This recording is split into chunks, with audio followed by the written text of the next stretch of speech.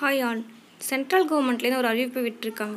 நம்ம வாங்குற அரிசியை விட ஒவ்வொருத்தவங்களுக்கும் எக்ஸ்ட்ரா ஃபைவ் கேஜி அரிசி உண்டு அப்படின்னு சொல்லியிருக்காங்க. ஏப்ரல் முதல் ஜூன் வரை அப்படின்னு சொல்லியிருக்காங்க. அது யார் யாருக்கெல்லாம் பொருந்தும் அப்படின்றத இந்த வீடியோக்குள்ளே போய் பார்க்க போகிறோம் சென்ட்ரல் கவர்மெண்ட்லேருந்து ஒரு திட்டம் இருக்குது அந்த திட்டம் பேர் வந்து அந்தியோதனா அன்ன யோஜனா அப்படின்றது. அந்த திட்டத்தின் கீழே வந்து பதினஞ்சாயிரத்துக்கு கீழே சேலரி வாங்குறவங்கள போர் பீப்புள்னு ஆட் பண்ணி அவங்களுக்கு முப்பத்தஞ்சு கிலோ அரிசி ஒரு ரூபாய் கொடுப்பாங்க.